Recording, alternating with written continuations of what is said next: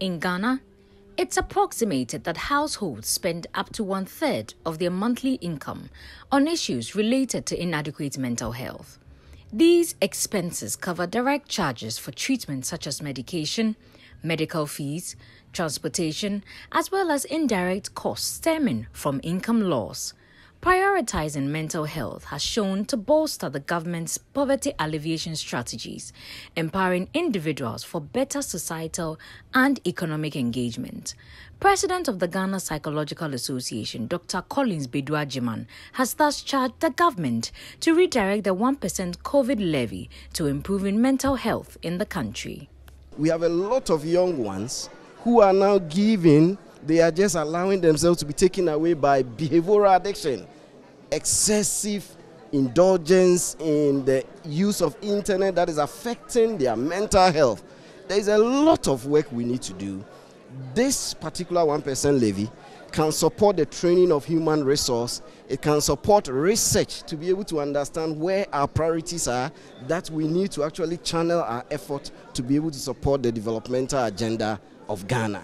So I think it is not about introducing a new one, it is about redirecting it from how people may be anxious and not too satisfied with COVID 19 simply because they think it's gone. Let's redirect it to an area where we have a 90% deficit as far as treatment gap is concerned. For the Chief Executive Officer for the Mental Health Authority, Pinaman Appau, the authority needs a continuous source of funding in rendering its service we will not be able to do what we really projected to do, but we are hoping that at least this will create some um, sensitization amongst the public so that going forward we will be. Um, we get more funding. But let me add my voice to the COVID levy. Um, yes, we are hoping that we do get part of the COVID levy being channeled into the Mental Health Authority Fund. If you again remember, when the um, our act established the mental health fund, but since the fund was established, we've not had a levy or we've not had a source of funding for um, the fund. So we've been, um, should I say, we've been lobbying that um, some of these um, levies be used for the Mental Health Authority Fund. So um, the COVID levy, could we get a percentage? We are also asking for the what we call the sin taxes, um, taxes on alcohol, on tobacco, and all that, because let's face facts.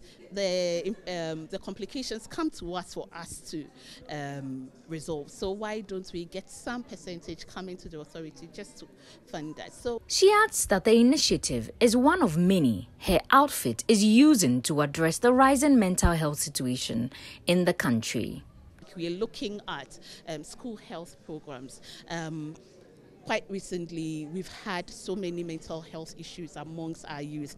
Um, amongst them is the substance increase in substance use, um, behavioral addictions like um, gambling, like even the gadgets that um, the youth are using and so on. So we want to go into the um, schools and then create um, awareness amongst them to let them know that um, their mental health is, or their mental health we, um, well-being is important in their general development. So, as economic conditions continue to worsen, Ghanaians are being encouraged to be deliberate about their mental health.